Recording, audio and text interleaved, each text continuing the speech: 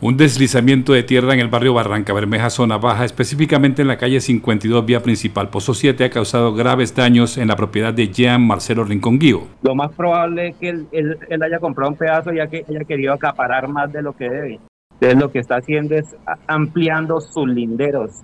El incidente se atribuye a las actividades de socavación realizadas por un vecino según se denunció. O sea, esto viene el la problemática de esto viene hace más de cuatro o cinco años atrás y el hombre eh, pues obviamente se le trae a la policía, se hacen los denuncios allá en la inspección de policía, se mandó carta a planeación, a espacio público, a riesgos, a la casa, al medio ambiente, pero todavía no nos han dado solución.